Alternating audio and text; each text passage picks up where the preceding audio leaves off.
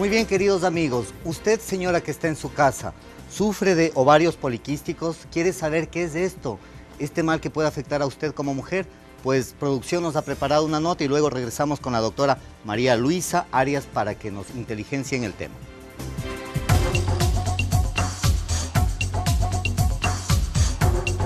El síndrome del ovario poliquístico es una enfermedad por la cual una mujer tiene un desequilibrio de las hormonas sexuales. Esto puede provocar cambios en el ciclo menstrual, quistes en los ovarios, dificultad para quedar embarazada y otros cambios en la salud. El síndrome del ovario poliquístico está ligado a cambios en el nivel de ciertas hormonas los estrógenos y la progesterona, las hormonas femeninas que le ayudan a los ovarios de una mujer a liberar óvulos, los andrógenos, una hormona masculina que se encuentra en pequeñas cantidades en las mujeres no se comprende completamente por qué o cómo se producen los cambios en los niveles hormonales. Los cambios le dificultan a los ovarios de una mujer la liberación de óvulos completamente desarrollados. Normalmente se liberan uno o más óvulos durante el periodo menstrual, lo cual se denomina ovulación. En el síndrome del ovario poliquístico, los óvulos maduros no se liberan desde los ovarios. En su lugar pueden formar quistes muy pequeños allí.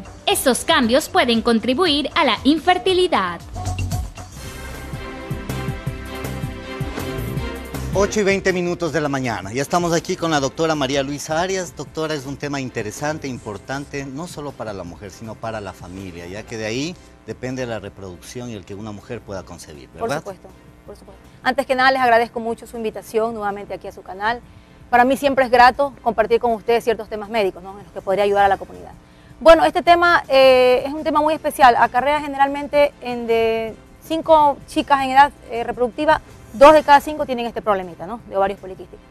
Esto cursa generalmente con un hiperandrogenismo, una virilización de ciertos órganos en la mujer, por ejemplo, la crecida de vellos en diferentes partes del cuerpo normalmente, eh, como por ejemplo los bigotes, vellos a nivel de la región púbica, en las mamas, en el abdomen, en la, en la espalda. Esos son síntomas. Claro, son síntomas que pueden presentarse. También una ecografía que va a demostrar eh, quistes ováricos, ¿no?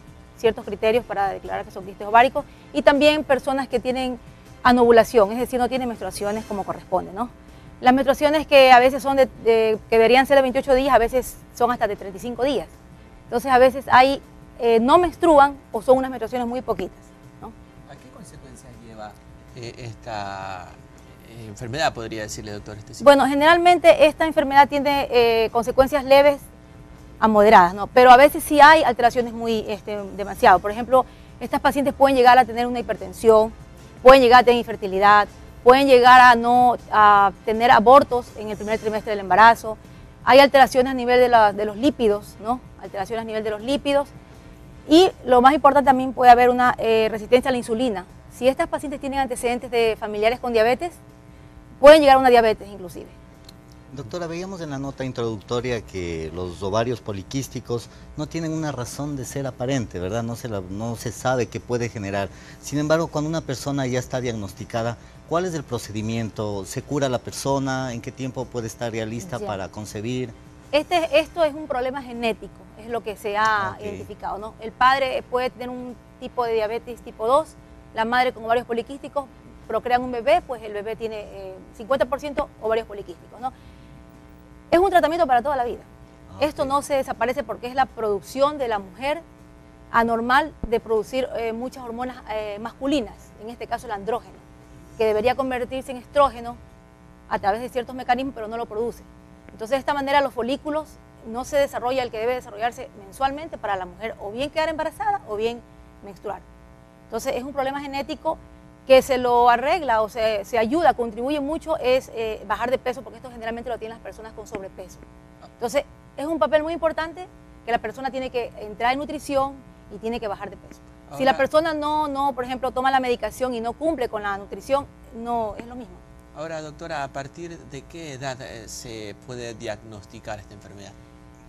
Eh, a partir de los 15 años, ya cuando las niñas ya empiezan a hacerse señoritas, pues a partir de los 15 años empiezan generalmente con síntomas como por ejemplo las dismenorreas, dolores intensos, una ecografía, un examen físico, eh, em, fijándose en los, síntomas, en, los, signos androgénicos como por ejemplo presencia de vello donde no corresponde, Eso es lo que... Va a lograr determinar. Ahora, ¿en qué edad eh, afecta mayormente? Puede ser desde los 15 años, pero me eh, entiendo... hasta los 25 años, 20, 25 años. Sí, desde la edad reproductiva 15 hasta los 25 años. y de allí nace esa, esa eh, situaciones que se escuchan ahora mucho de que recomiendan en el caso de que son señoritas aún y no se han casado, de que sean madres a la brevedad posible?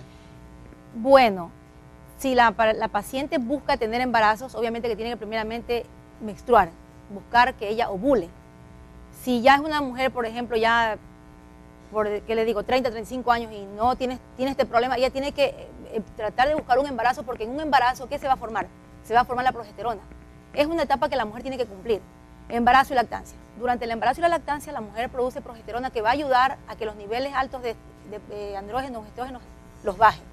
Entonces eso tiene que cumplir, porque si no se cumple eso puede llegar fácilmente a producir un cáncer de mama o un cáncer de endometrio. Doctora Arias, entonces entendemos que una mujer que está afectada con ovarios poliquísticos está alterado su bio, su biorritmo, su proceso menstrual. ¿No menstrua la mujer o menstrua con irregularidad? Menstrua con irregularidad, a veces hay meses que no menstrua o menstrua muy poquito, son unos cólicos intensos, pero como le vuelvo a repetir, esto tiene mucho que ver con la alimentación. La paciente tiene que siempre buscar al ginecólogo, no solo al ginecólogo, tiene que buscar al ginecólogo, tiene que buscar al, médico nutricionista, tiene que buscar al dermatólogo porque también hay problemas a nivel de, eh, manchas en la piel, hay acantosis nigricans, que son este, pliegues en, el cuello, en, las ingles, de una, eh, gruesa, una coloración café y gruesa, entonces eso también se forma. Y aparte de eso, el psicólogo, obviamente, porque hay personas que debido a este problema, pues eh, por su aspecto físico, porque son gorditas, tienen trastornos también. Doctor, usted pone énfasis en la alimentación. ¿Qué tipo de alimentación tiene que ya, ser? Tiene que ser baja en grasas, en harinas, en frituras, en azúcares, porque desgraciadamente, claro, no, tanto colorantes, eso no tanto, pero lo que es grasas, harinas, frituras sí, porque las pacientes con este problema de quistes ováricos generalmente tienen una resistencia a la insulina más aún si hay antecedentes de familia diabética. Entonces, fácilmente pueden transformar esto en una diabetes. Una mujer que ya ha procreado con una edad promedio de 35 años, eh, debe de preocuparse si se le presenta esta enfermedad, tomando en cuenta de que ella ya ha reproducido y está a una edad superior a los 25 años. Claro, sí, por supuesto. ¿Qué consecuencias les puede conllevar a una mujer de esa edad a tener eh, esta enfermedad? Hipertensión, eh, aumento de los colesteroles, eh, presencia de la, diabetes, desarrollo eh, de virilizantes, por ejemplo, puede inclusive el clítoris crecer en, una manera como no debe.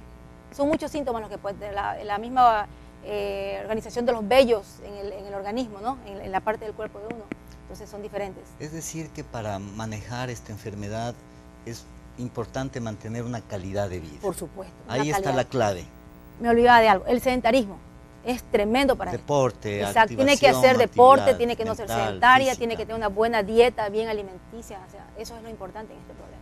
Muy bien, doctora, muchas gracias por la entrevista, ha estado muy claro. Antes que nada, quiero unas palabritas también. Por favor. Este, eh, eh, todo lo que yo les estoy manifestando, pues tenemos los centros médicos, eh, puntos médicos familiares, aquí en Guayaquil, en La Alborada, el nuevo centro médico que es en Plaza Mayor, para que las pacientes puedan tener atención con el ginecólogo, con el, nutricionista, con el médico dermatólogo y con el psicólogo, obviamente, porque son cuatro médicos los que tienen que estar ahí. Entonces, están invitados los pacientes para que cuando quieran vayan al punto médico de la Alborada en Plaza Mayor.